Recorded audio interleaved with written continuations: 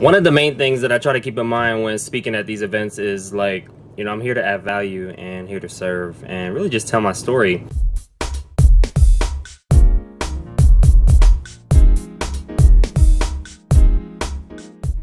Hey, what's going on? I am getting ready to head out and do a little speech to tell my story and to help some folks out with regards to reducing stress with natural solutions and teaching them all about that here in Las Vegas. And so I'm going to a buddy of mine, Steve Moreno, and he's got some folks set up there to, you know, just be ready to learn and share some stuff. So I'm to talk for like 15 minutes or so, maybe open up to some Q&A.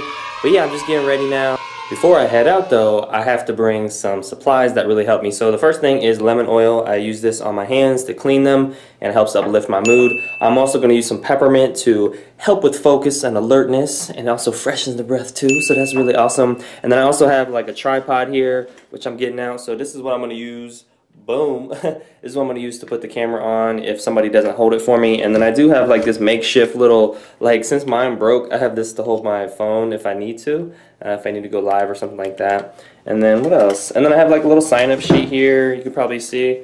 Boom there it is. And that's what's going to be there for folks if they want to learn more about natural solutions for their health or my book or anything like that. You know just got to make sure I got all the supplies and everything in there um, to set up to be set up for success Mm-hmm. All right, I made some, uh, this is some millet and beans and lentils. This is a really good rice replacement. Um, I use that to eat with uh, kimchi and rice. And then I'm just going to fill up some water. I have some uh, reverse osmosis here. So this is really awesome to help stay hydrated. I'm going to put some lemon oil in there as well. So I also am going to put some apple cider vinegar. I got some sprouts in there. Ding! That's right. um, just a little bit though. Let's see. So this helps with alkalizing the body. And then I'm going to put probably about you know three or four drops of one two three four there we go of the lemon in there and that's going to also help alkalize my body. More info in the link description. One of the main things that i try to keep in mind when speaking at these events is like you know i'm here to add value and here to serve and really just tell my story and have some fun along the way. So we're gonna do the dang thing. Let's do it. Yeah. All right i just made it. Just grabbing my stuff here. I have all my goodies.